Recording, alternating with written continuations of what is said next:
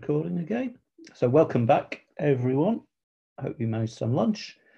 Um, and uh, we're rounding off our, our three-day SEADDA workshop and the second half of our joint SSHOC E-RIHS SEADDA workshop focused on heritage science.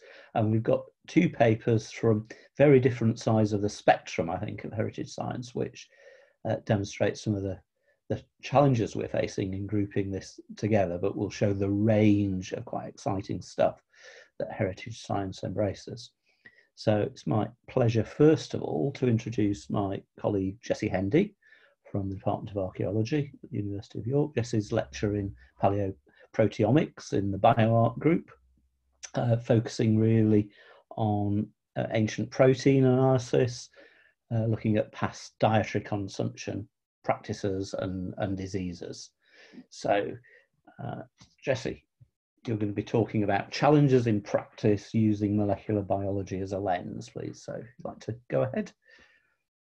Great, thank you so much. I'll just um, share my screen. Oh, don't want to change the language.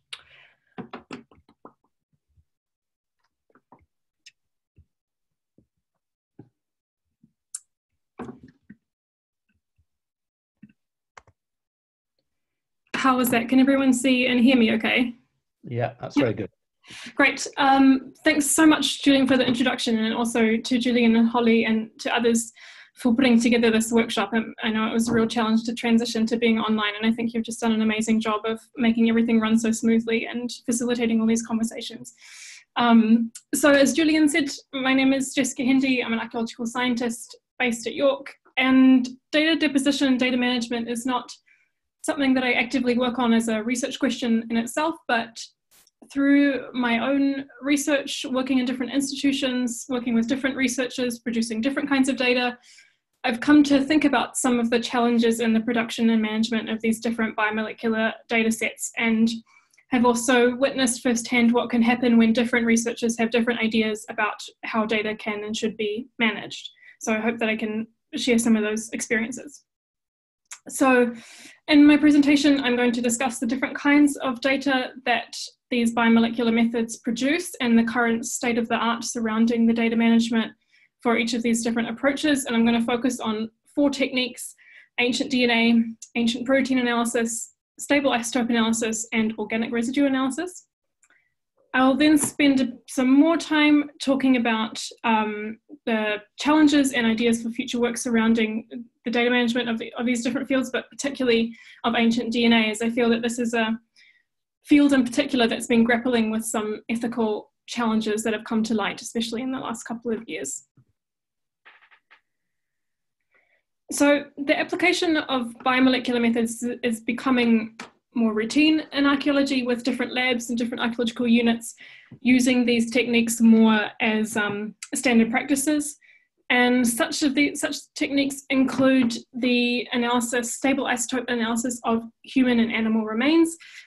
This involves the identification of particular chemical isotopes such as carbon, nitrogen, oxygen, and strontium to investigate patterns of diet ecology and migration in animals and humans. The identification of fats or lipids from material objects, especially ceramics, is a, is a blanket technique um, which is termed organic residue analysis. Uh, and this involves uh, extraction of biomolecules, um, particularly fats and lipids, from especially ceramic vessels to understand um, the contents of past of past vessels and what different kinds of material culture was used for. And for example, it's been really revolutionary in changing our, our understanding of ancient dairying practices. Ancient proteins, perhaps less well applied, but I would like to say growing because I'm a lecturer in paleoproteomics, uh, is uh, the identification um, of proteins from different kinds of, of archaeological substances um, to investigate diet, disease, and also for, for taxonomic identifications of different kinds of biological remains. Um, another technique related to this is one called zoo archaeology by mass spectrometry, and it's a very uh, quick and cheap technique where you can identify fragments of animal bones or, or other kinds of material culture to identify their, their biological species of, of origin. And ancient DNA really hardly needs any introduction, um, but has been, of course, revolutionary in, in telling us about population histories and ancestry, relatedness, kinship, um, and is really ever, ever expanding in scope. And the fundamental point here is that each of these different techniques have their own data requirements, data types, and also best practices.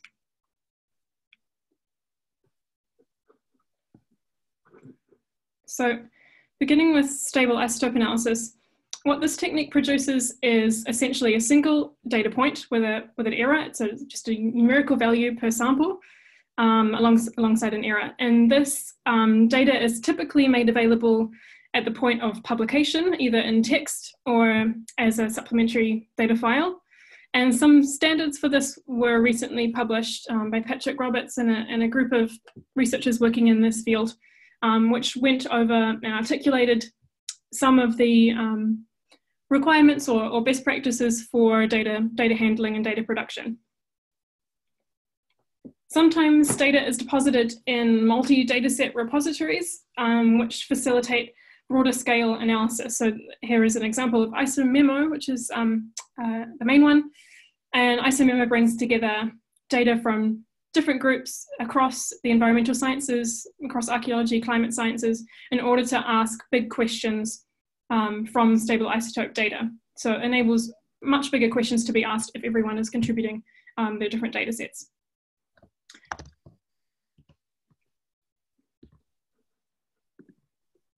So with organic residue analysis, the analysis of, of fats or, or lipids, data are produced from gas chromatography and mass spectrometers. Uh, here is an example of what the output looks like. It results in a series of peaks on this kind of spectra with each of these different peaks representing a, a different molecule identified. And organic residue analysis can also involve a second step which is the isotopic analysis of each of these molecules. And what this does is tells you a bit more about the, the biological origin of those particular kinds of molecules. This underlying uh, raw chromatographic data is typically not shared, but these lists of molecules that were identified are shared. Um, this is often, uh, but not always, presented in, in text or tables or as supplementary files along with um, manuscripts of publications. Um, oftentimes they're just available in figures, which often make it quite hard to extract that, that information and make it a bit hard to compare to, to other data sets. And I would argue that there isn't really an adequate data deposition strategy for this particular kind of analysis. There, um, there are some groups that have uh, different data accessibility strategies, but these are often quite refined or confined to um, their own institutions. With ancient protein analysis, this also involves the production of these spectra and the identification of that spectra into protein identifications. This produces two sets of corresponding files, a, a raw file and a processed file. Um, and it's current practice to make available these two different kinds of data sets, both a raw data set, which is completely unmodified, and also the modified data set, which is basically how you make your data interpretations. And in this, in a sense, we have it quite easy here because these data types are really universal in the field of molecular biology. There's nothing different about them because they are produced um, from, from archaeological data sets. So what this means is that um, these uh, ancient protein data sets can be easily integrated into existing platforms such as the ProteomeXchange, which is hosted by the European Molecular Biology Laboratory, or MASSIVE, which is hosted by the National Institutes for Health in the US. It's very easy to draw on these existing repositories. For this technique I mentioned called ZOOM, zooarchaeology by mass spectrometry, for a growing technique um, amongst archaeologists, this data production is slightly different. It involves the production of characteristic fingerprints, which are diagnostic of particular species. So this is an idealized example of, of how this data looks like. And uh, in publication, it's typical to list um, the, the masses, the peaks that were identified, these different molecular components. Um, but again, there's not really a standard practice with how these are, this information is, is distributed.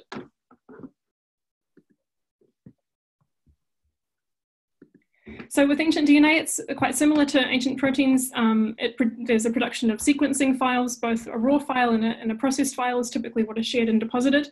Um, and it, again, you can draw on existing data repositories in order to share this data.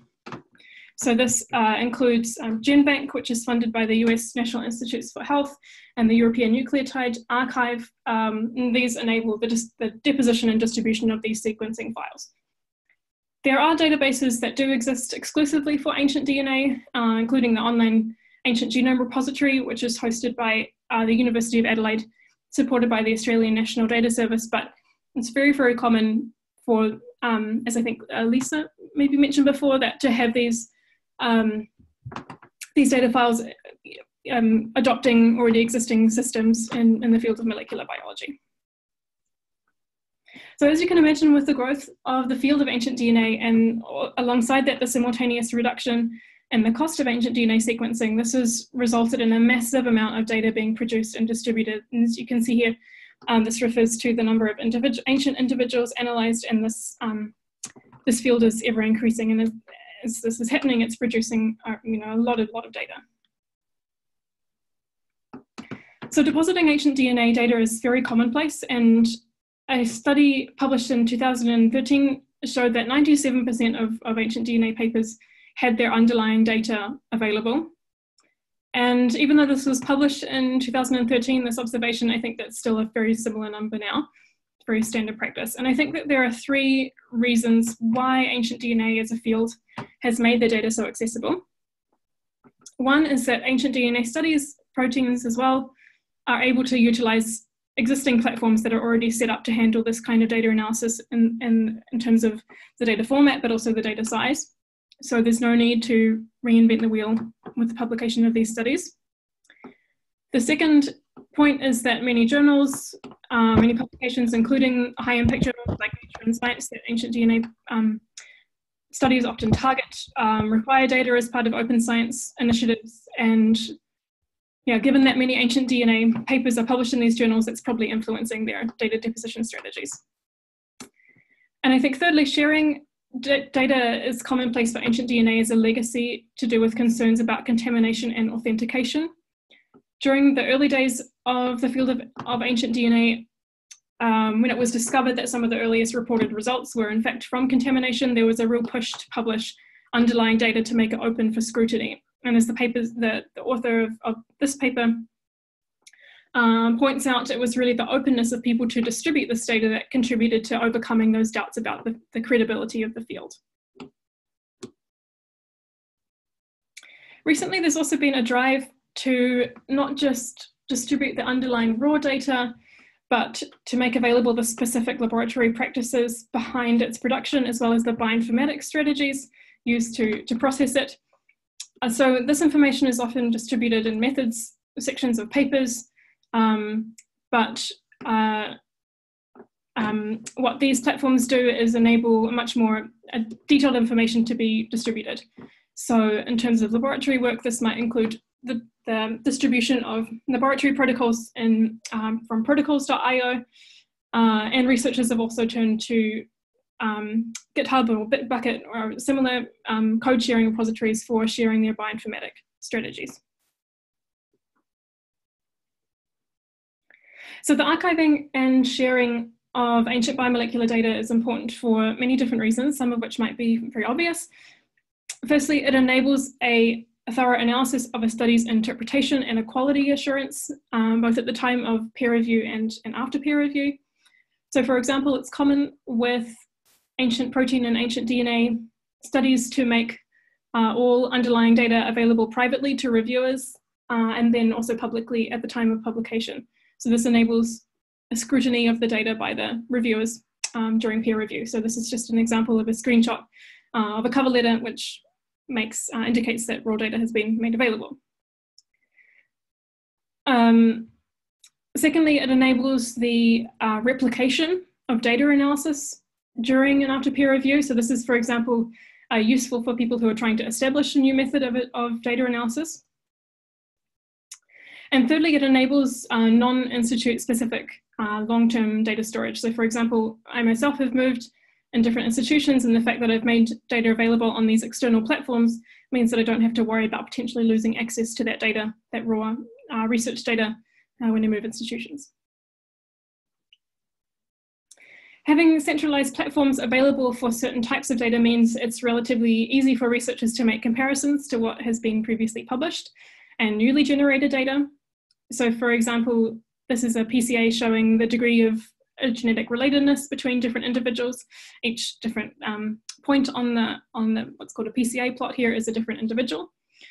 And uh, underlying the colored dots is a suite of previously published data pertaining to the ancestry of individuals across Eurasia. And the colored dots represent ancient individuals analyzed in this particular study. So by drawing on all this published data set, researchers are able to relatively easy, easily compare how closely the individuals in their study um, match to, to, say, reference populations to look for similarities in uh, genetic relatedness.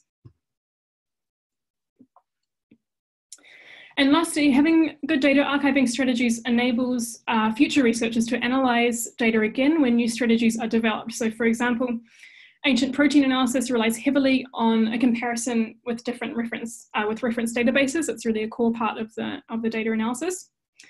And previously generated protein um, data files can be reanalyzed as these reference databases continue to be updated.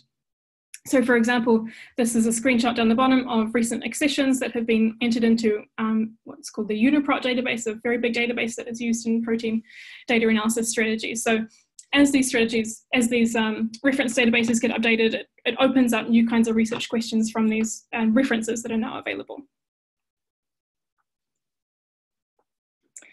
So the production, archiving and reanalysis of biomolecular data is not without its challenges.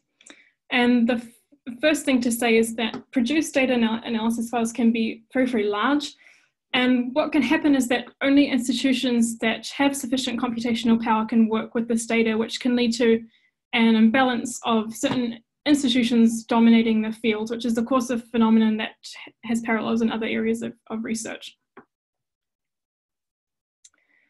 Related to that, data can also be highly specialized, meaning that its interpretation requires very particular expertise in order to be able to critically interpret it. And these, these two points together really mean that there are only three or four labs in the world which are able to make these kind of quality assurances to do with the production of this kind of data.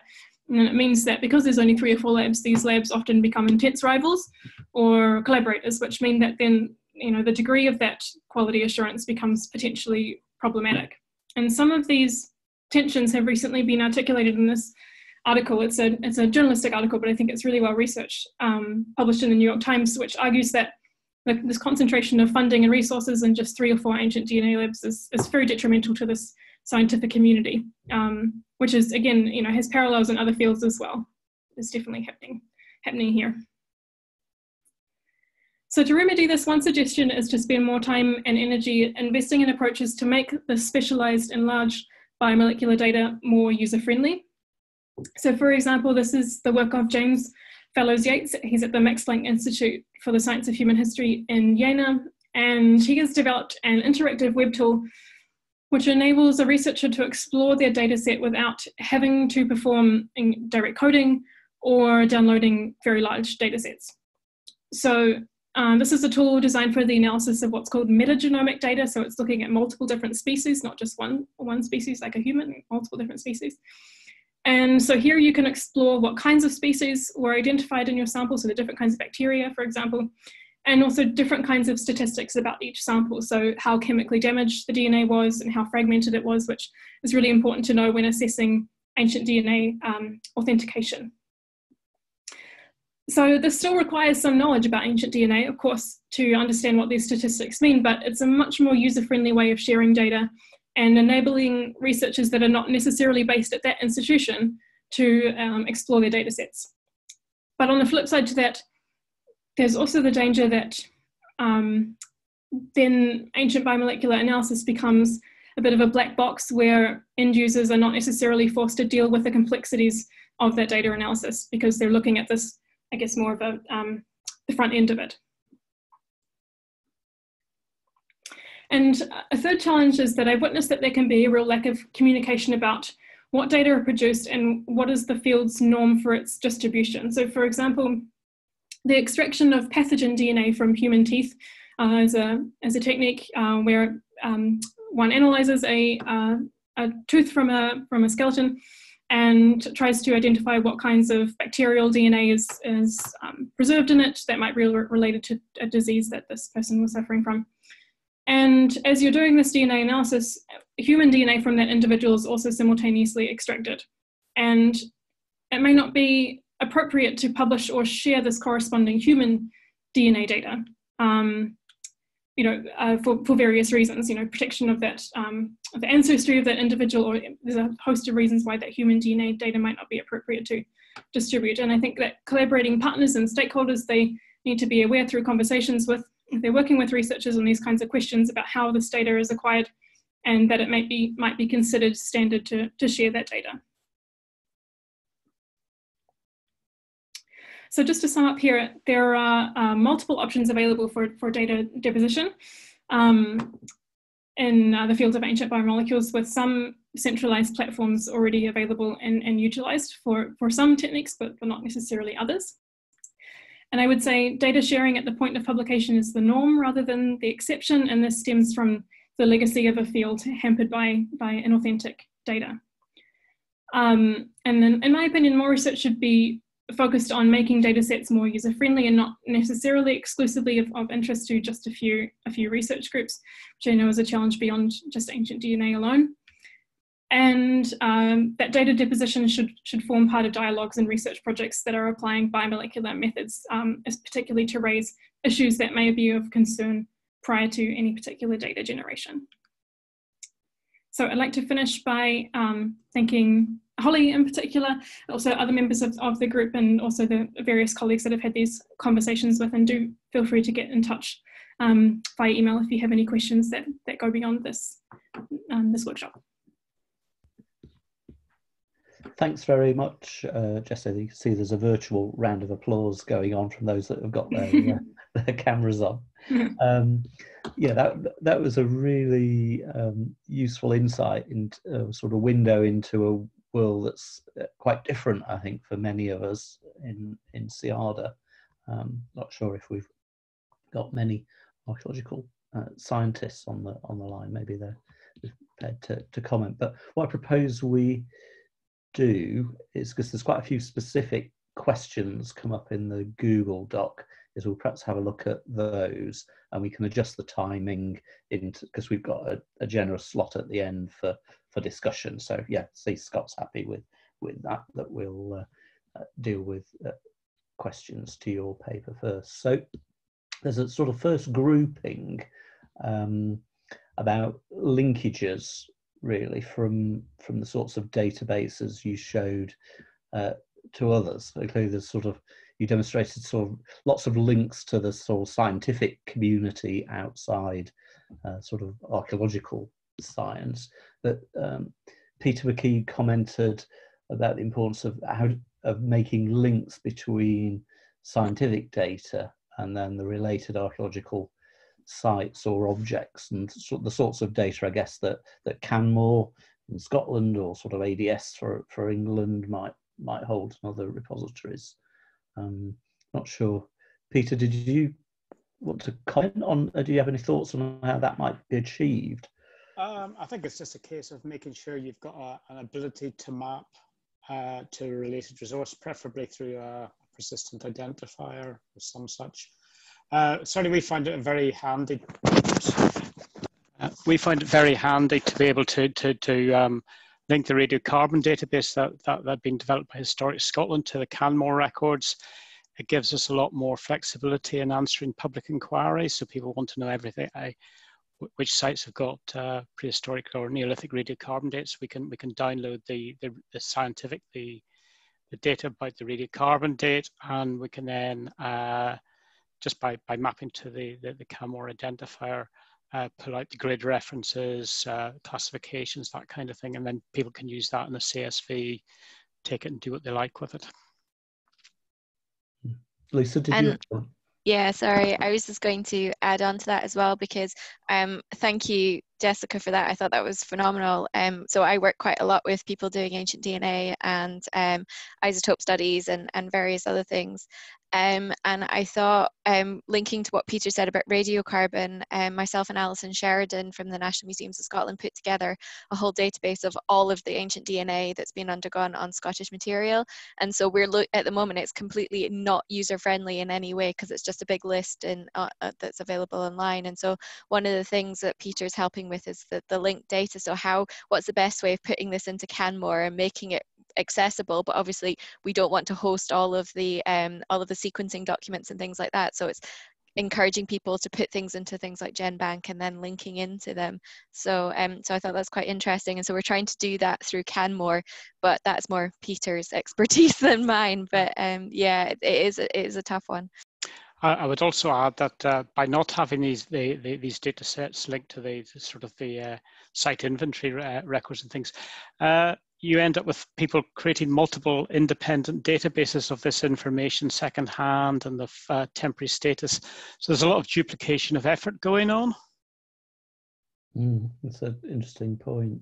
Can I um, have a little bit of a response there? Mm, just to say that I completely agree as well. It's not maybe my presentation was a little bit focused on what happens with the raw data, but what happens to that, that metadata and, and the information about associated information about each sample is also incredibly important. And certainly I've witnessed even um, institutions that don't necessarily, um, for whatever reason, have, have records of what samples are going in and out of their institution have it certainly resulted in um, researchers making the same analysis twice, which is then or even multiple times, which has then re- resulted in chaos, you know, down that line. Mm. Um, so having that, you know, all that metadata available is, I think, really important. And I think also working super closely with with museum collaborators or archaeological collaborators, um, especially if you're, uh, um, you know, to make sure that the right kinds of accessions are recorded and the information is distributed, so then people can, you know, link together which samples have been have been utilized or which individuals have been utilized across multiple studies. I think it's Absolutely. really important. And and I think it's a there's a bit of an ethical question in there as well because we've ha- we've had quite a lot of um, students from all of the UK wanting to sample human remains that are either within the care of HES or, or ones that, that that we've done through our emergency call off contract, and um, and we're kind of having to force people into sharing their data between each other rather than mm-hmm. sampling mm. something to destruction, which unfortunately um, is happening at the at the moment. So we're mm. having to to try and um, avoid that happening from an ethical perspective as well as any mm-hmm. other kind of duplication of effort. Jesse, you you I, I, you commented about um, some of these databases being changed and updated, and I wondered how that, that tied in with the idea of the sort of preservation of the data at one point. Do they do they create a new edition, or, or I mean, I'm thinking if you're trying to reference something, I saw some of the the date, uh, I think ProteomeXchange had DOIs, but I, wasn't sure that ISOMEMO did and whether things might might change. So how we how that would impact on this linking idea. Yeah, you're right. Um, uh, in many different data repositories, they are issued a, a DOI. Um, and when I, I guess when I was talking about databases being updated, I just mean, I guess, more accessions being being entered. So it's not necessarily changing a, a version or changing a, a, format or changing a, a data type or something like that. It's just more accessions being being entered. Um, but yeah, I'm not I'm not too sure about how um, you know the the big repositories like the European um, Molecular Biology Lab deal with with updates um, and yeah how that's how that's factored in. Um, yeah. Yeah. And it's something we find more broadly sometimes in archaeology is how you you reference a particular item in a database as well, rather than the database as a whole. I guess it's sort of how granular you can go with your your DOIs. And, oh, right. Yeah, I think it's um, quite variable between the different um, repositories. Yeah, I don't think ISOMEMO, for example, has has a DOI. I think that's more it's more acting as a repository for then asking new questions of a, a larger data set. Yeah, yeah. But I think that that that is perhaps something then where we picked it up in our our E-RIHS recommendations about the importance of, of having DOIs or another form of, of, of stable URI. Yeah. Okay. Um, so there's some other uh, questions. Well, Keith, I think, was answered. He was asking about linkages to other biological sciences, which you, which you show. But then you asked Keith about yeah, that's an interesting what what raw and processed data actually looks like in in your domain?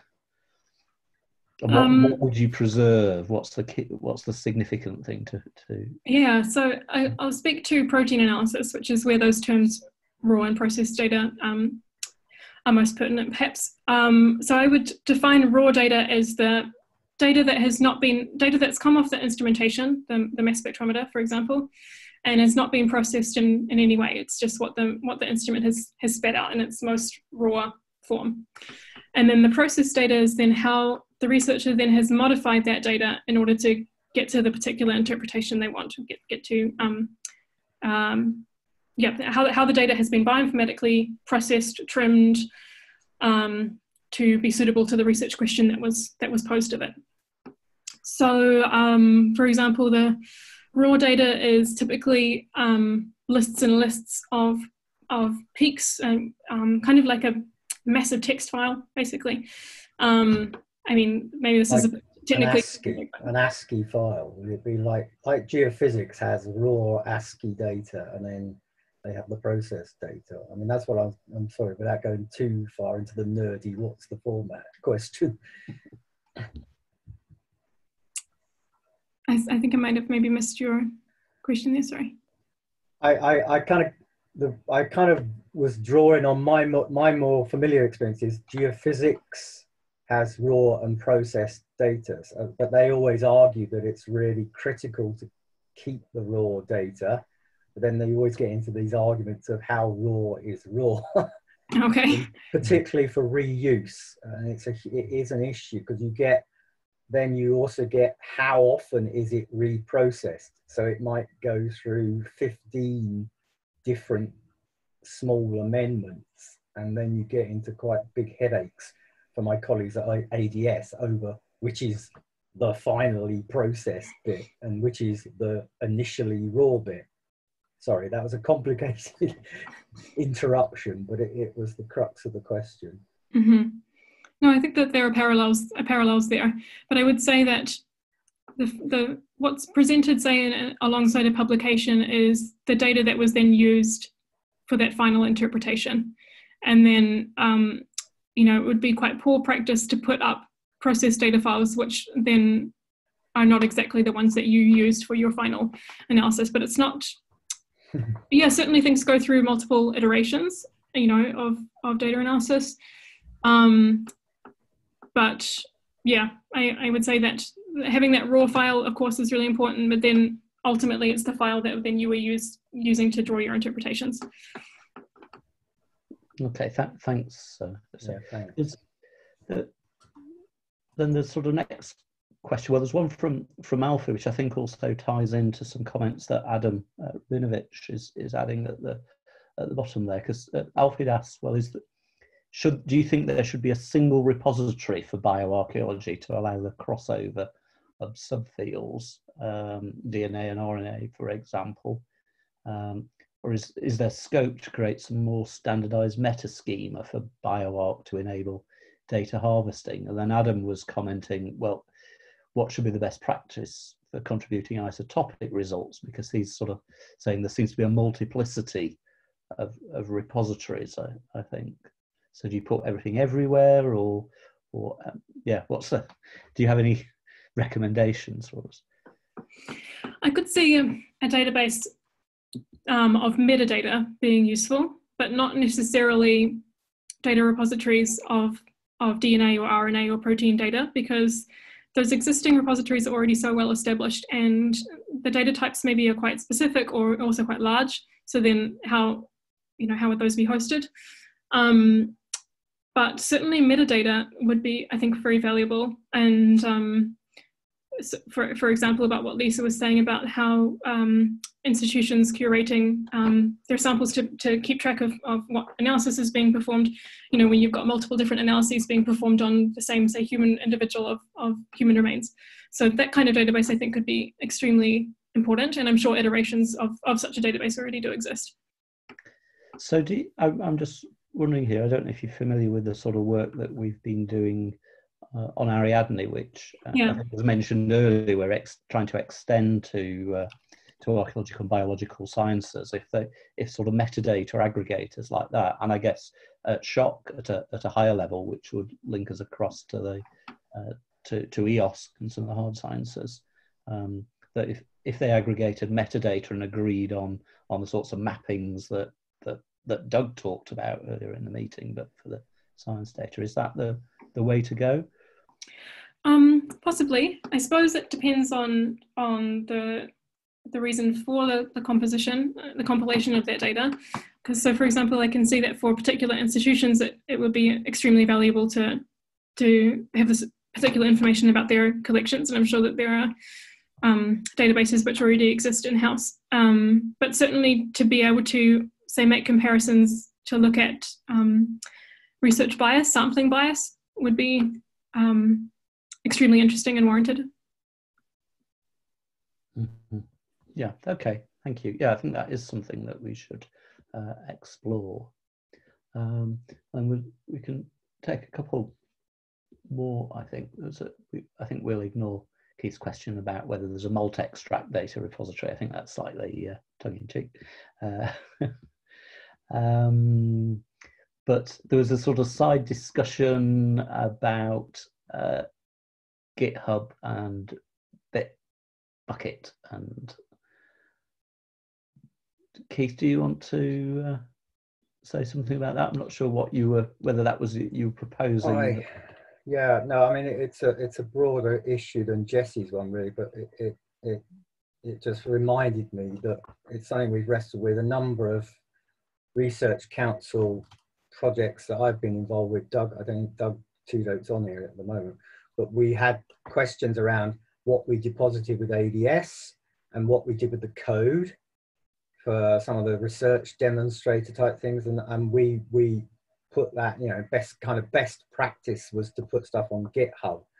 But I'm still, you know, I suppose with my historic England hat on, I'm trying to wrestle with what kind of guidance is best practice to to the people that we fund. For instance, if we actually do get fund projects where they create some level of code. And Holly mentioned this in the context of algorithms yesterday. And I, have talked to the other people about this question of how do we actually keep that kind of the I suppose the code base, the, the, the I can't express it very well, but I guess it, it's almost the historical documentation behind how you got the results. And if we only put that, there's uh, to me that seems a chance something that we need to think about going forward is keeping the connections between that. I can see Judith switched on because I know internet archaeology have really tried to get this connection between the data papers. And of course, that's the advantage of why I publish in internet archaeology, that you can put the data and the paper together. But it's less, and I'll let Judith speak. Uh, I think that's less about the actual code. You know, there's an element of black boxness about what ends up on GitHub and what actually gets published. So I'll, I'll stop now because that wasn't a very good question. Uh, well, yeah, all I was going to say on that is that, yes, you're right. The journal does try to link these things through together, but it's a concept that I've come across. And I think it's come from medicine, really, where they talk about this concept of threaded publication. And I don't know if there's a digital, I don't know if there's a technology there that's able to help us with this, but it's a way of linking together those protocols and the data and the publications so that people can follow that thread right the way back to the start, you know, for an idea or a, you know, something at the, at the at the inset, but then also look at everything that's followed on from that. So I don't know if there are technology out there, technologies out there that can help us with that, but that's that's just what came to mind when you were when you were speaking. Doug's popped up as as well there. You're muted, Doug. Sorry, this forgot to mute unmute. There's interest recently in platforms combining data and code, um, so that you're you're actually able to um, link them together and to show dynamic results. It's still a bit experimental. So platforms like Jupyter, for example, um, it's, in, in, it's sort of in that way. I see that the link someone put to the Harvard um, PDF document on, I don't know if that was uh, Jessica uh, or it was a reference to a, a Harvard document on um, uh, uh um, fair data. Uh, and it has, uh, I see it talks about container support use cases, combining data and code. I see that Code Ocean, Jupyter. So I think it is a kind of current emerging interest. Thanks. Yeah, I think it was Ron Decker added that, uh, that uh, Harvard link earlier. Um, okay. Um, have we we talked about the black box the, the, sort of last question that popped up how is the community addressing the tension you mentioned between providing a tool so a larger number of members can analyze the uh, the data but limiting black box understanding of the analysis that's built into the, the tool is that something you would like to respond to jesse to be honest it's not something that people are really dealing with at the moment and i think that's because um, the data is still so specialized, being analyzed by a few different labs. Um, I'm not sure if that's really a question that people are really engaging with, um, to be honest. And but I think that that it should be engaged with. Okay, thank thank you. Um, okay, well, uh, thanks thanks very much again for that. I do hope you can uh, stay. Sorry, is there another? I, I, was just going to raise my hand to respond to what that last question and what Jessica was saying. One place where we can see how this kind of effect plays out is in the um, commercial genetic repositories that the general public is using, right? Where you have a black box and then it gives you a thing that says, here is your ethnic heritage, right? And then people immediately misinterpret it. So that, that problem is one that we can see in action in these other um, in these other venues, and that we should probably take our cues from the problems that emerge in those venues when we try to figure out how we should um, manage things that are available to non-specialists without creating false impressions. Mm, yep, just want to say I completely agree with that with that observation. Yeah, I think those so it's a great example. Yeah, yeah, very nice. Thank you, Adam. Okay. Um, sure, we can always return to some of these things at the end, but uh, can we move on then, please, to really, as I mentioned, the sort of opposite end of the spectrum, maybe, of, of heritage science, and, uh, and Scott from engineering and uh, uh, climate change effects on buildings. So, would you like to to share your screen? Go ahead. As long as I can manage to figure out how to, more than happy to do so. That's the the challenge, isn't it? Yeah. How is that? Yeah, that's perfect. Thank Great. You. Great. Um, well, first of all, thank you very much uh, for the invitation to speak. Um, and I have to say that this is similar to Jess's approach, which is that uh, I also am not actively researching in this area, although I do teach in it uh, on, a, on a master's course right now. So I really am trying to also bring the perspective of someone who has encountered some of these challenges in the past uh, and has thought about ways in which we might address them. Um, so in no way do I claim to be an expert, and I really do hope that, as has been the case for the rest of the program today, this is a basis for discussion and for starting controversy. Um, what I really wanted to do was point out some of the ways that researchers can uh, change what they're doing now or think about the immediate future in order to move towards these things. And I think uh, SSHOC and SEADDA and E-RIHS are all very long-term thinking, uh, you know, blue sky thinking initiatives that are really trying to make a change in the future. And I'm just trying to suggest ways in which individuals and projects and researchers might make small changes in order to move toward that. And also think about what kind of skills and ideas we should strive towards, and perhaps what skills as a whole are lacking within the heritage science and archaeological science communities. Uh, some of the things that I mentioned are probably quite basic, and some, interestingly, I think contrast the current draft of the E-RIHS guidance. So it'll be really interesting to see what people think about some of those points as they arise.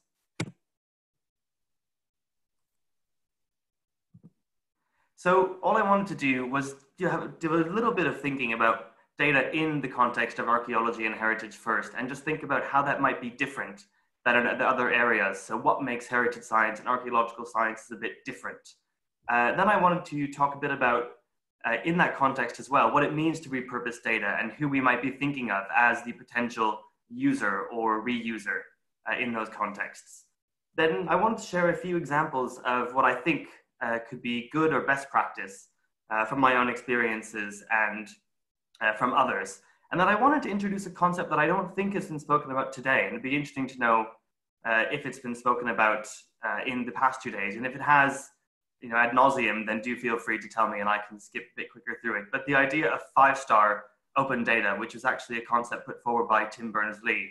Uh, and then I'm also really glad to see that there was discussion about analysis. Uh, and I think this idea of combining data and the analysis and the protocols and the procedures uh, is quite interesting. So I wanted to share some of the best practice that might go along with the analysis of, of data as well. So I was trying to think about the relationship between data stewardship and data reuse. And I think they are very inherently related. And so a lot of the best practice that goes along with data stewardship, as I understand has been the focus of the past two days, is very similar to reuse. Um, but in trying to think about data management for reuse, I think the main intention is that it's oriented towards comprehension. Uh, and there's three types of comprehension or aspects of comprehension that I think are important.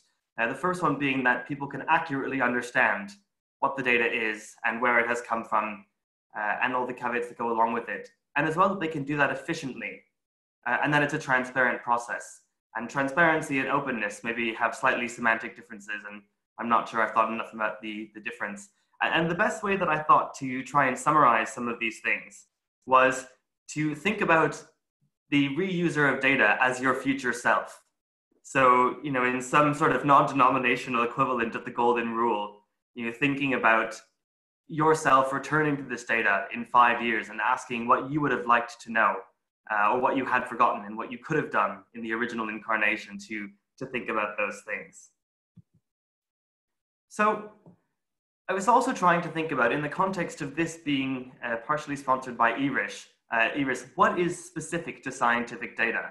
So what makes it perhaps different than some of the other archaeological data formats or uh, data that is more purely in social sciences or humanities disciplines and traditions? And I think which is probably true about scientific data is that it is generally uh, produced by computers, but it's also equally interpreted by humans, and computers. And that has quite a specific outcome and implication from when we start to think about how to store it for reuse and how to curate it and manage it for reuse. In that those two groups, humans and computers, interpret data and indeed information and any other level of thinking hierarchy very, very differently. Uh, I also think when it comes to scientific data, there's an impossibly wide range of formats. Uh, and that's true, especially, I mean, it was nice to see uh, what a nice community can bring and come together when they have very similar data formats. And there's a fairly small number of groups that seem to be doing the work. Uh, as heritage science comes, being an incredibly broad umbrella for so many things, uh, there's just an incredibly wide range of formats. But on the benefit, that data is usually structured. So in terms of being able to think about how it might be interpreted by humans and computers, we have the benefit of being able to understand that if the structure can be formulated properly, then we can think about the reuse and the curation and the general analysis and perhaps reanalysis in the future. I also think that this data can be of staggering scale. And one of the examples that comes to mind here is thinking about some of the high resolution imaging techniques that are often used to capture uh, different aspects of, of works of art or any other form of heritage. And when you think about the fact that you can do image scanning or imaging for a few hours and generate hundreds of gigabytes of data from one single object at one single time period. Uh, you, I think you can start to see that the scale is a challenge, both from the physical aspects of how to store that data and how to afford that storage without being energy intensive, uh, but also how you think about different reuse and different end users. And I was really glad to see that came up earlier, and it's something I'm going to return to in a bit. And I think perhaps with, with scientific data and heritage science and archaeological science data specifically, the power is in the interconnectivity of them. I think it's very rare that you find a heritage science project that has used one technique. And perhaps that also brings a challenge, but it's an opportunity in that typically these techniques are combined. Uh, and we look at things through different lenses, through different uh, disciplines uh, and the tools they bring. And that's really where the power is. So thinking about how you reuse scientific data in order to enable that, I think is something that has to be thought about. And as I already mentioned, thinking about analysis. So how to actually think about how to interrogate that data. And that's something I will uh, come back to as well. So I was just trying to throw out different types of data that we might encounter uh, that was scientific data in heritage and archaeology. Um, I've already mentioned the example of scientific imaging. Uh, I think there's a huge tradition as well of uh, the chemical sciences and the analytical techniques. Um, and, and they bring about their own specialties often. I think that's especially an area that is ripe with proprietary formats and the challenges they bring. Um, I also think there's a large component of environmental monitoring, and that's probably one of the ones which is more easily facilitated because even high resolution uh, environmental data doesn't tend to be that large in size and it's fairly easily stored in very basic formats and there's a long tradition of doing that uh, that's kind of been inherited from meteorological sciences and indeed there's probably a really good realm of best practice that can be explored there and then perhaps on the other side there's a bit more about the the collection records and i wouldn't i wouldn't exclusively say that's metadata but it is um, information about collections and, and the curation they've undergone since being in, in care. Uh, there's also a huge world of born digital assets, and I'm not going to be the person to claim to know a lot about those or to have thought a lot about them, but I think they bring their own sets of challenges. Uh, and I put this last one as ND representations, be them 1D, 2D, 3D, 4D. And I think those data formats, especially on the scales of scanning uh, physical environments, for example, with terrestrial laser scanning uh, of archaeological sites or indeed of entire built structures or cities. Um, the scale there and the formats bring their own challenges. Um, we've talked a lot about metadata today, and I think metadata is crucial to understanding data. Obviously, it tells us about the structure of data that we're being provided in a reuse point of view, and it also tells us about the administrative aspects of it. So that might include the rights. For example, we talked about the ideal licenses that E-RIHS would like to put into his recommendations and the management of that data.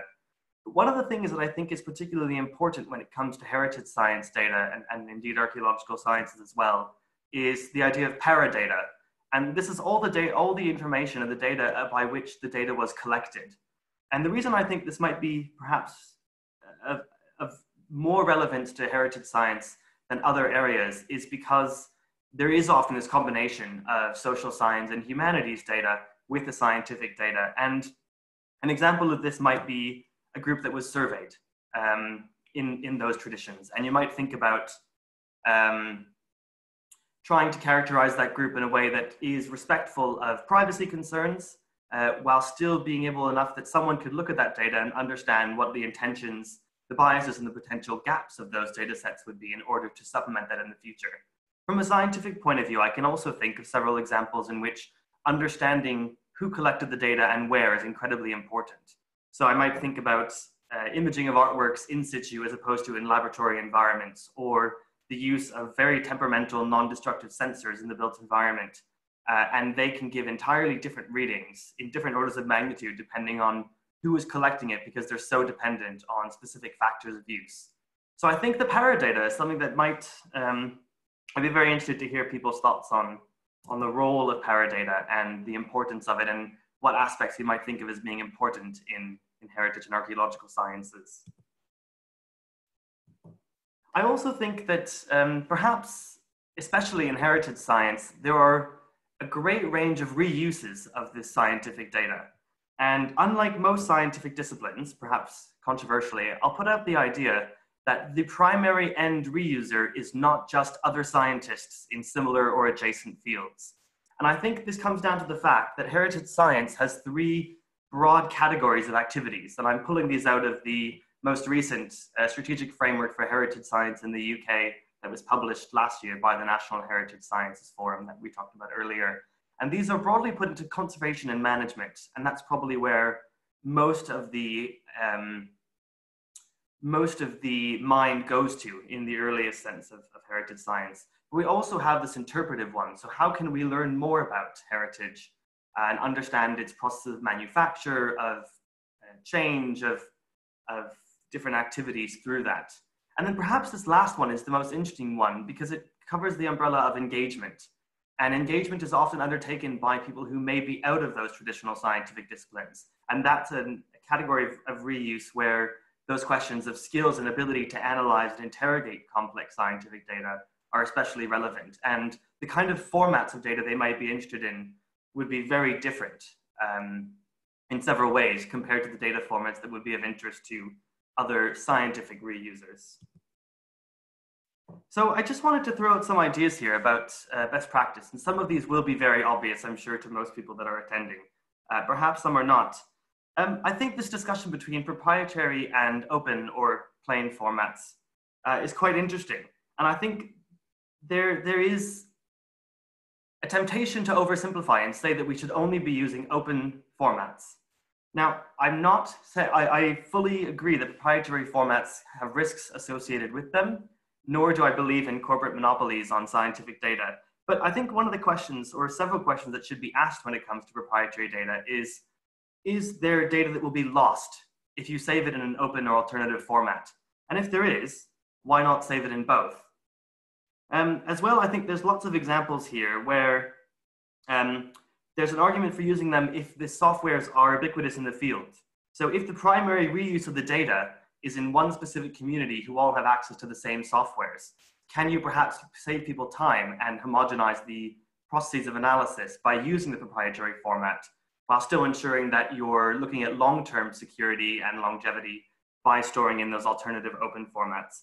And indeed, there are historical precedents where previously proprietary formats have now entered the open domain. And uh, for example, Word documents being one example of that.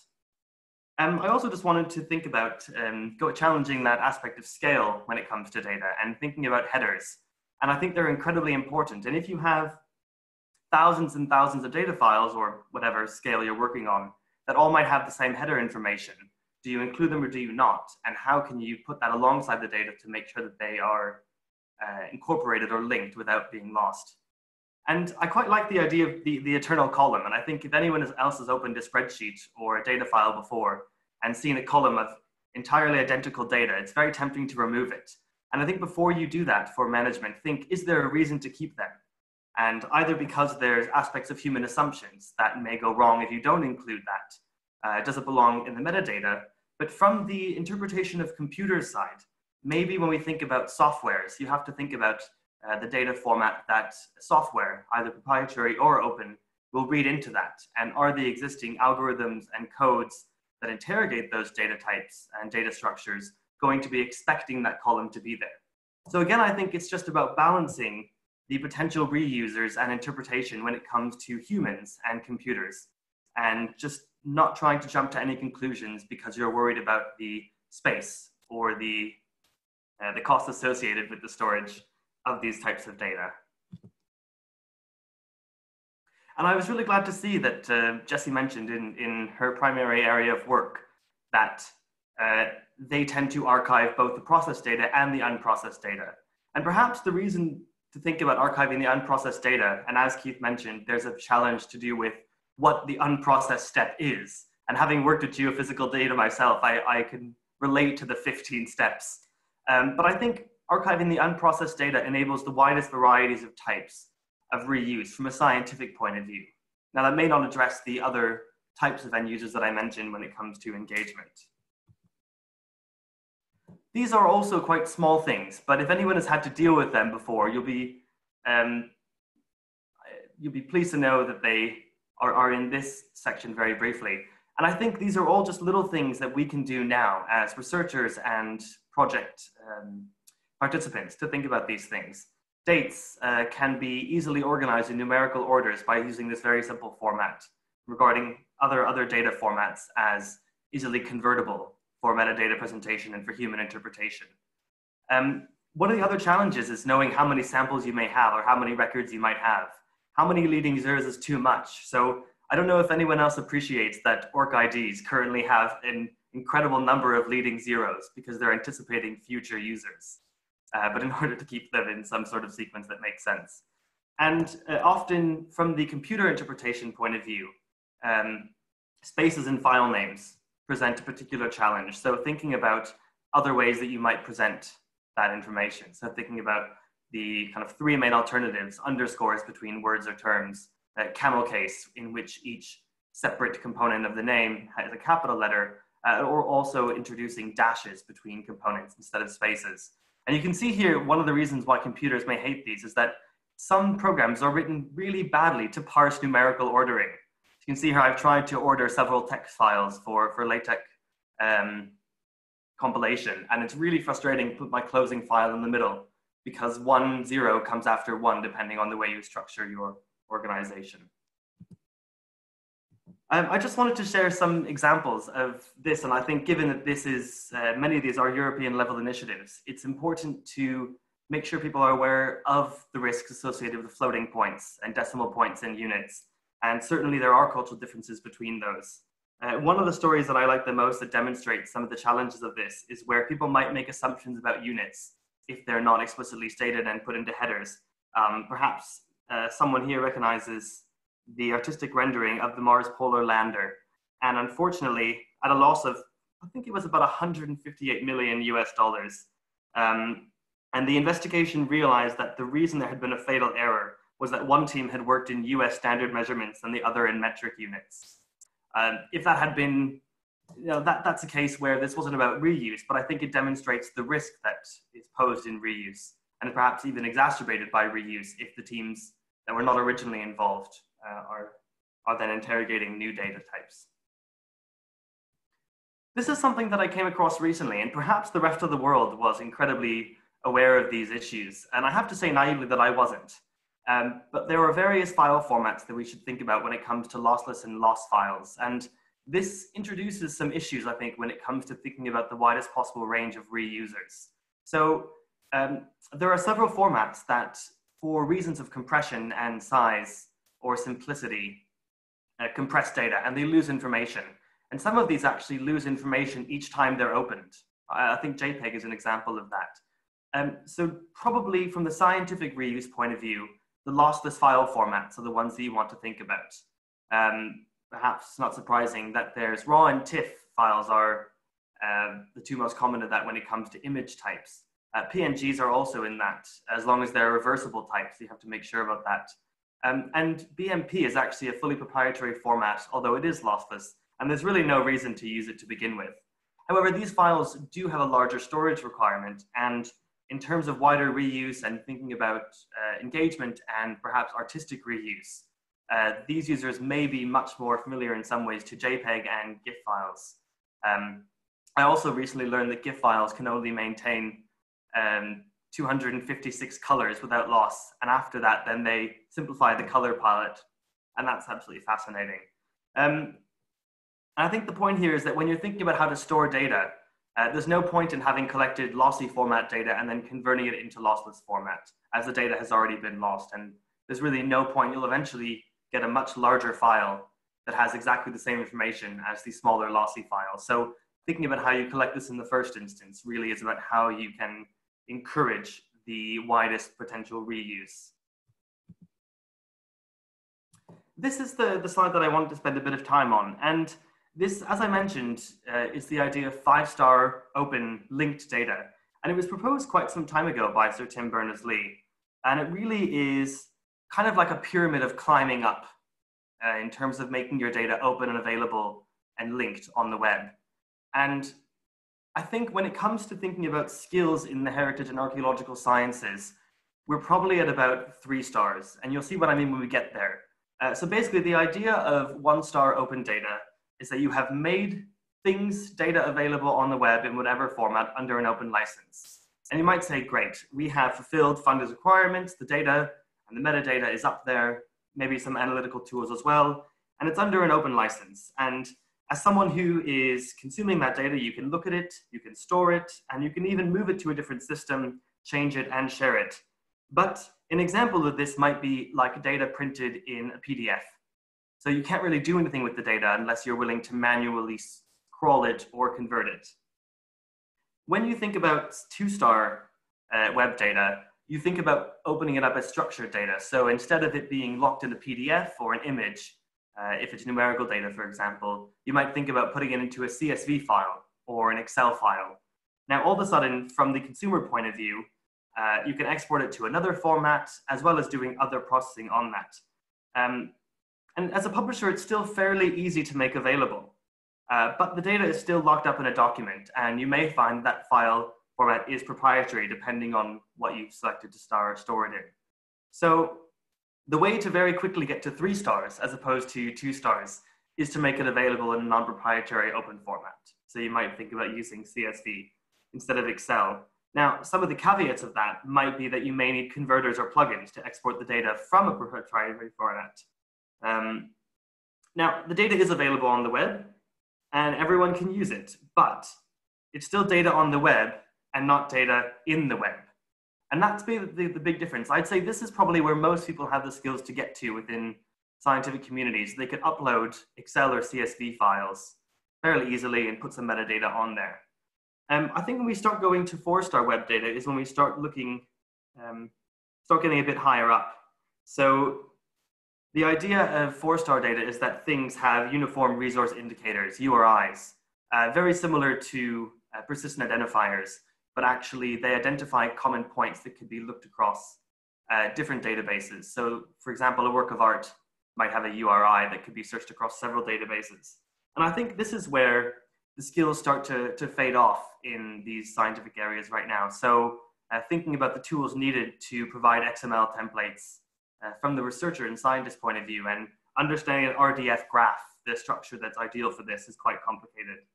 Um, and the final one is really a small step up from four, and that's linking your data to other data to provide context. And perhaps that's something that uh, E-RIHS is, is thinking about and needs to think about uh, in the future.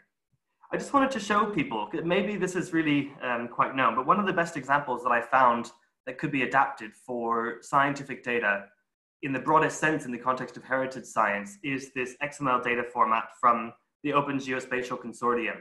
And they have XML schemas that are for a range of general scientific data, and I've included some of them here. Uh, but there's also uh, other ones which include uh, timescale data spectrum for any sort of analytical technique. And perhaps there is something to learn from uh, this open consortium or other ones uh, that have looked at how you address a huge range of scientific types of data in one sort of schema or database.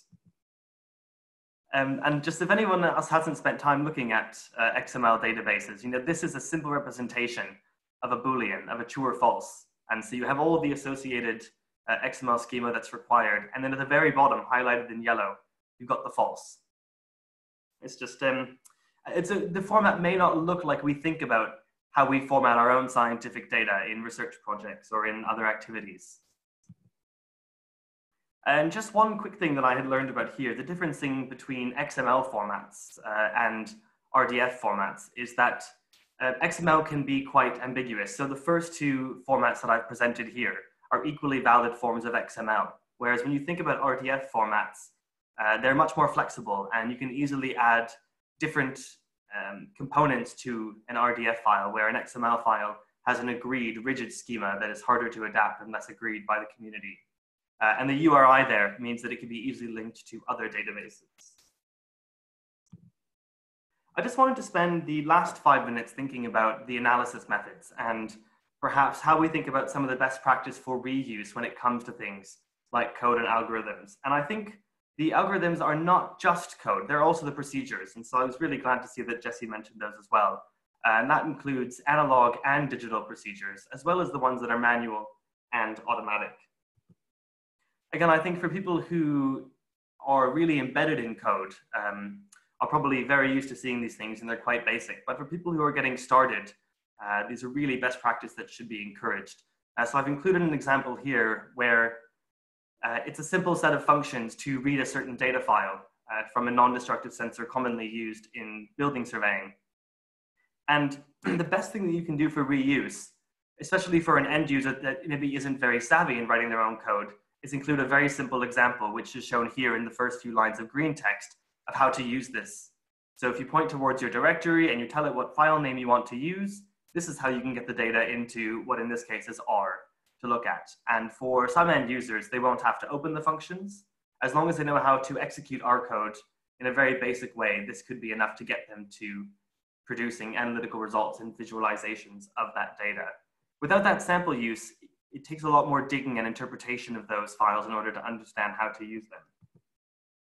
This is a particular case where I'd like to commend someone for the excellent code documentation they did.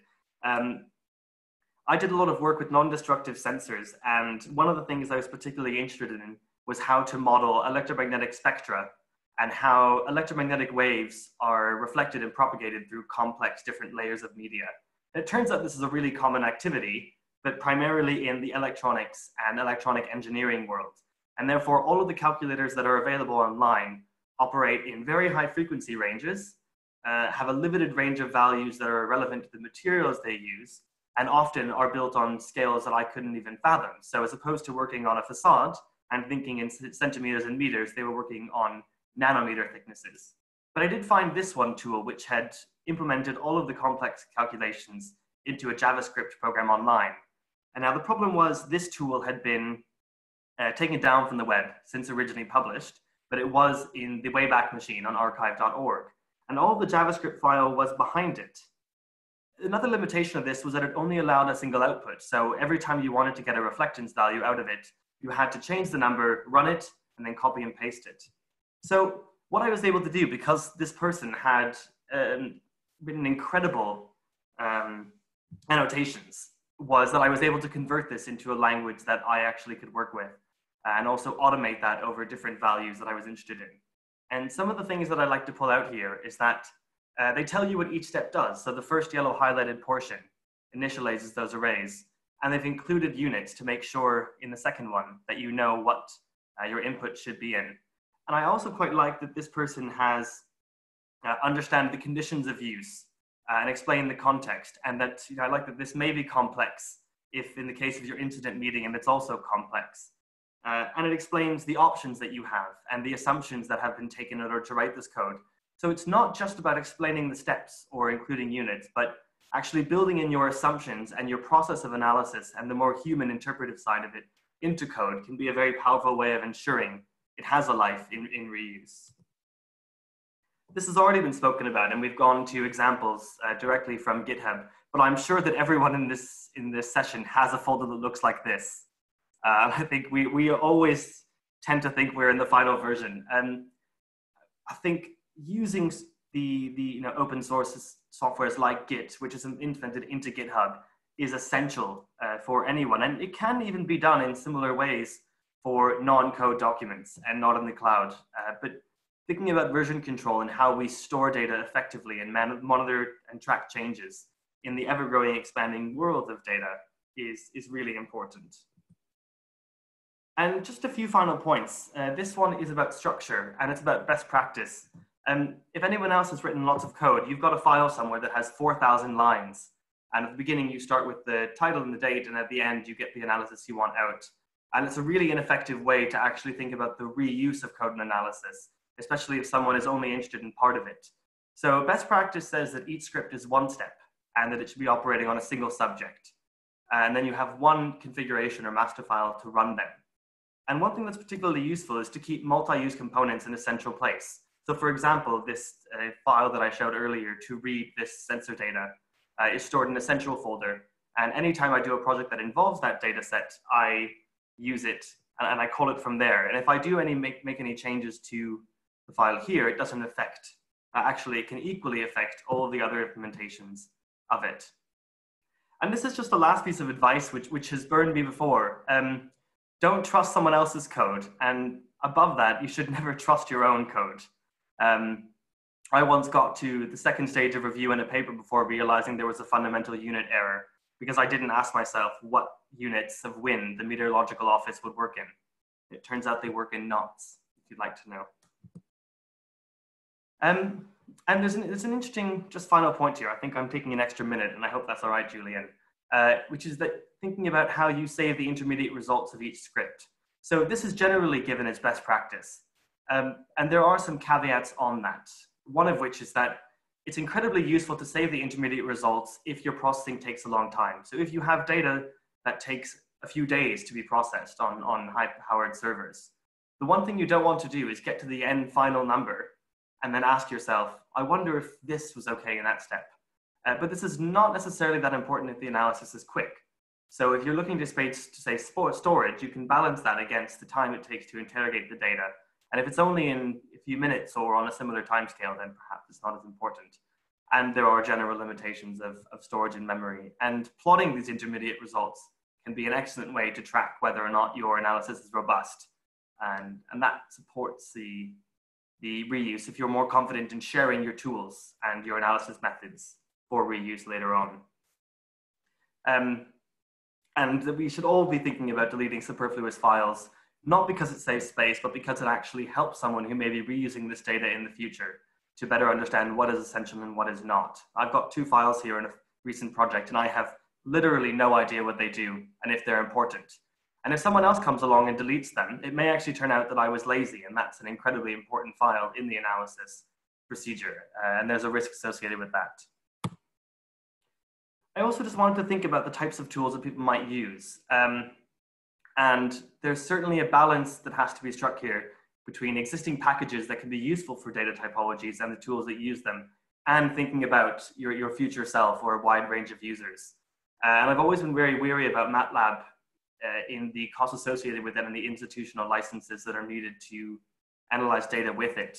And if you think about your future self and if there's a risk that you may not have access to the tools or the data sets, you know, just as Jesse mentioned that uh, putting data on archives and repositories allowed her to access it across institutions. Similarly, using open source tools to analyze your data will not only help other users, but can also potentially help yourself if they're moving between uh, different institutions or there's a risk of losing your access to those proprietary tools that you need for analysis.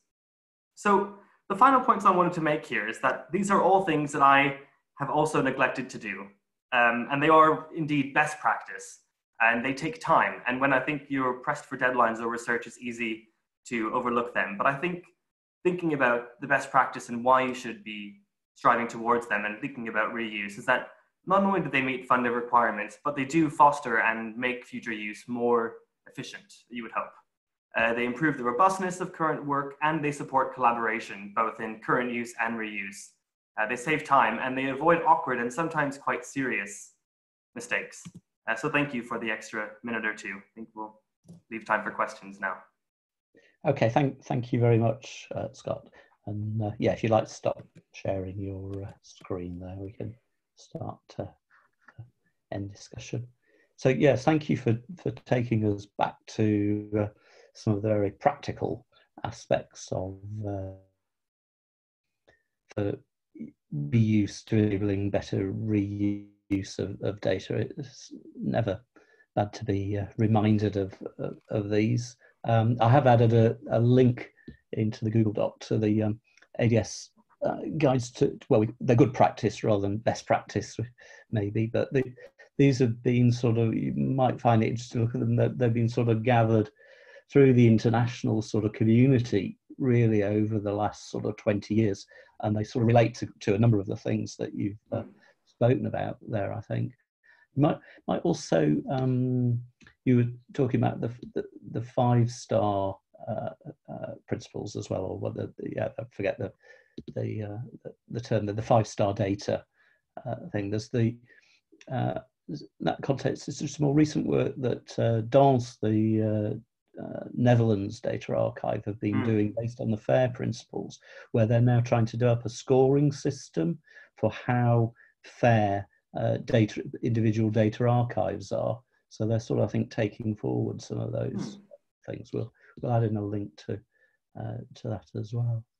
Um, so um, just seeing if there are any specific questions. Uh, Wolfgang made a comment about, because we've heard a lot about Paradata, in fact, over the last three days.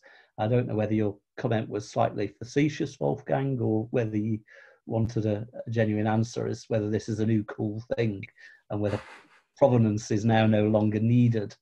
No, actually, I wanted an answer. Um, I'm a little confused because um, everyone seems to use this term now, and I haven't heard it uh, until two days ago and it seems to comprise data provenance, but it seems to mean more.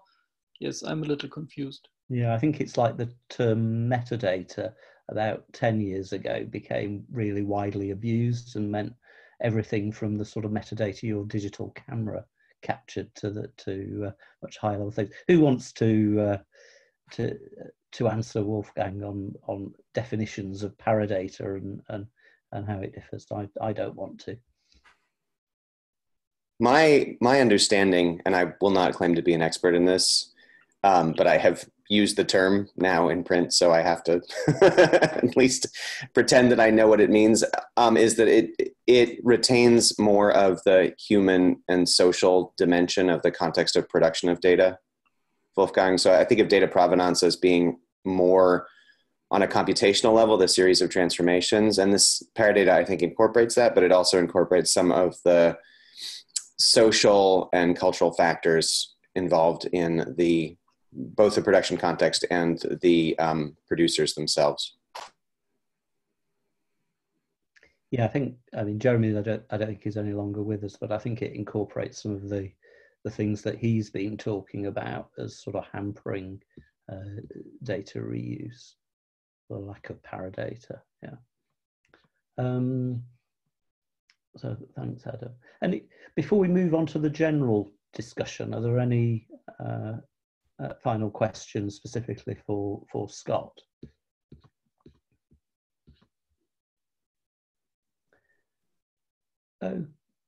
Okay, right. Well, I don't want to sort of prolong the workshop unnecessarily, but there's a sort of few things to draw together and also a couple of things um, hung over from earlier today. And I think uh, Keith asked an interesting question. In case he's he's lost sight of it on his his screen, I'll I'll read it out.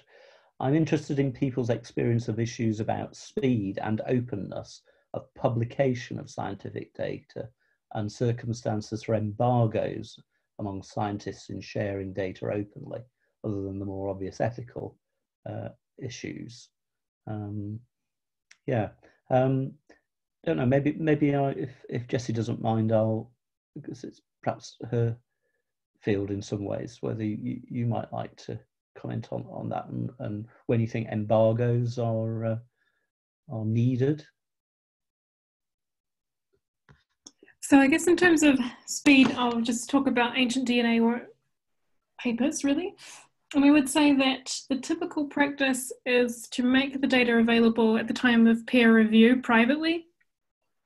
So it's embargoed publicly at that point, um, and then um, it gets released alongside the publication when it's published.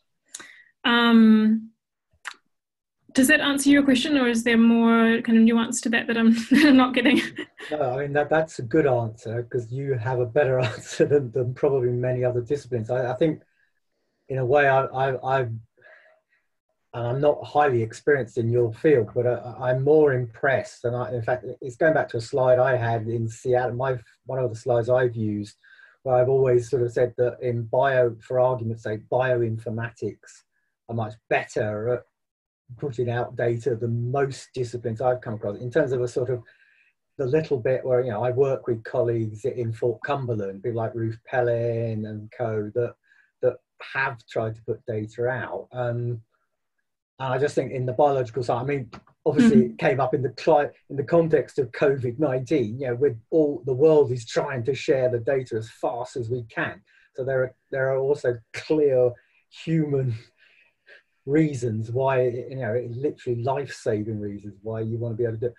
and i suppose the contrast there is i spent my life banging my head against the brick wall of archaeology that we think it's acceptable to spend 20 years before we might get around to and no disrespect to the author of this i just use that as a lump of dead tree that isn't what i want to be doing for the next 20 years so I'm being provocative and whether there are other other scientists who are also trying to get their data out quicker than, than archaeologists. So that wasn't a rant at you, Jesse. like I, I, I don't know. Nobody else here seems to be frustrated by the fact that the whole one of the things I thought we would achieve 20 years ago, where we started putting stuff up online, we might actually speed the process. I, I advocate this thing called re-engineering the process, and I think because I've been here for three days, I've been struck that we're still struggling with this hybrid situation, and I can I know there are reasons why we have hybrid issues, but the data to me, the data reuse is very tied up with our publication model. Now, at that point, if Judith doesn't switch on, I don't know if she must have gone and made a cup of tea, but uh, I'll, I'll, stop there, Julian. But uh, you know that. No, it's, it's. I don't know. Maybe Judith uh, does want to join in, but it, I mean, I share your frustration. I'm a bit more optimistic that things are speeding up because there's certainly paper archives from 30 years ago from archaeological sites, and I won't name the directors online, but you can probably imagine who some of them are, but are, are still not accessible that I would dearly love to get hold of. Um, and I think we are, I think the digital world, world, is improving that. And I think there's becoming a greater spirit of um, putting your data online before you've finished with it yourself. And I think that's often the reason why people are reluctant to say, think, oh, I'm, I'm eventually going to get round to doing something with that. So I don't want to share it because there must be another paper in it. And they never do. Um, and so, um, yeah, I think that that there have been a few sort of people who who've gone against that and are all, all in favour of, of that. Um, I guess that I mean we have encountered it. I have to say in in um, the heritage science area more broadly, and I think the first archives that ADS were um, was asked to embargo for a period were actually funded by NERC, and that was a case where people were working on the data. And Kieran, who's online, but I think he was having problems with his sound, was was involved in archiving those. And I think that I think they were under a five-year embargo. I don't think we generally embargo anything longer than than that, uh, which is is quicker than some with, with some paper archives. Any any other comments on uh, on that?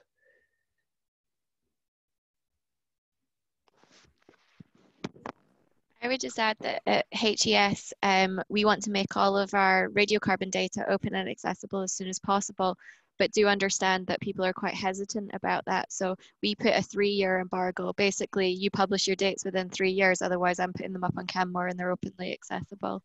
Um, so that's what we've been doing, but that was only implemented um, in the last couple of years. Yeah, so it presumably doesn't apply to legacy projects, but it applies going forward. Yeah, it does. But with legacy projects, I've been going through and chatting to the the people who who have put in the dates because although we pay for them, the, the IPR still rests with with the people who who put in the samples. So I've been chatting to them, and actually, I found them quite amenable to putting the dates up online. To be honest, especially when I'm looking at sites that were dug kind of early 2000s, late 90s, that kind of time period. Yeah, thank you. I think that's a really good move. Um, yeah, I mean, I think C14 dating, in my experience, I'm working with Bryony, and I mean, Bryony gave a paper on Monday, on Tuesday as well, and she said actually when she went looking for data, it was the C14 data that she found most comprehensive. She couldn't find the related archaeological stratigraphy and phasing data. And there's a, there's a, there is a big issue around how much data is actually reaching the archives as, as well. You, know, you, you want to actually reuse stuff it's got to be there in a in a consistent and comp- comparable way. And uh, I don't think I can let this whole conversation go over three days without saying I am considerably concerned by what's not reaching the archive. Nothing wrong with what's in. Well, there are things issues about what's in the archive. And we're talking about the issues about what's in there and what we can reuse. So there's a there's still a huge issue around making it reusable because half of it at least is not there. Yeah. Okay. Well, Can I make a comment following on from Lisa? Mm, please. Um, I really like the initiative of having this kind of embargo. If they don't make it immediately available, then it's a policy to to then make it available, and then having dialogues with them as well to know that that's a practice. And I think Oxford Radiocarbon Lab maybe do a similar thing as well, but I think they're on a much longer time scale. And I just wanted to say that with this the ZooMS technique, um, the IP also rests. We offer it as a kind of semi-commercial service here at BioArCh, and um, we the intellectual property does reside with the person who is sending the samples if it is in that in that kind of system but we make it clear in the agreement with them that we make it all the data is available and then that's part of the kind of condition of the service and i think it's um yeah like i was saying before in the presentation really important to kind of have those dialogues before even the the research project starts to say like okay this is the standard practice and this is what we're going to do and it's part of the contract um, I actually need to go to another call, so I just want to take this opportunity to say thank you to, to everyone and for these really interesting conversations. Yeah, and thank thank you very much, uh, Jesse. Thank you so much, Jesse. So I think we, yeah, we are. That reminds me, we have reached uh, three o'clock. I don't want to shut everything down if um, there were burning topics that people wanted to bring up. So just put your camera on if you wanted to uh, wave at me if you wanted to say anything. Okay, i think uh, after well, certainly those who've been with us three days are certainly probably exhausted now, looking forward to an early weekend if they if they can manage it. Uh, but um, I think it has been a, a, a, really good three days. I'd like to thank particularly for for today um, Alejandra and colleagues at UCL and uh, Holly and the broader sort of SSHOC participation that we've had to, today. I think we've uh, sort of done a useful thing there in bringing SSHOC to the sort of broader attention of an archaeological community that may well not have heard of it uh, before, and I think that's quite understandable. Um, it's been very useful for us from an E-RIHS point of view as well to allow us to develop those recommendations and to add in some more detail.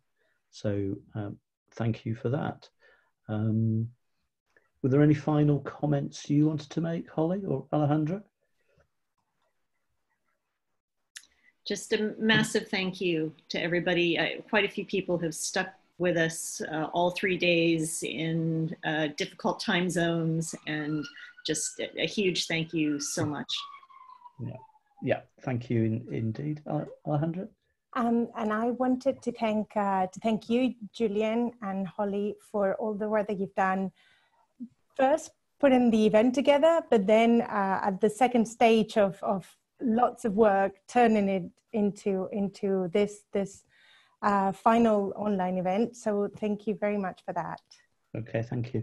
And I think it has well throughout the three days. It's shown, as we said yesterday, both the the pros in enabling maybe a lot more participation, but also the cons that we can't now go to the pub or elsewhere for a drink. I see there was a, a question posed there about uh, data, which really was a, a, a, posed as a question to have in the pub afterwards. But we'll have to do that on another occasion. So, uh, final thank you from uh, me. We will circulate details of the uh, uh, the recording. Uh, the Google Doc will stay shared if you have any afterthoughts that you want to add to that. And a final sort of best wishes and stay safe, everyone. Bye bye. Thanks a lot, guys. Thanks. Bye. Bye. Thank you. Bye. I love it. Anyway, everyone's turning their cameras on and waving bye.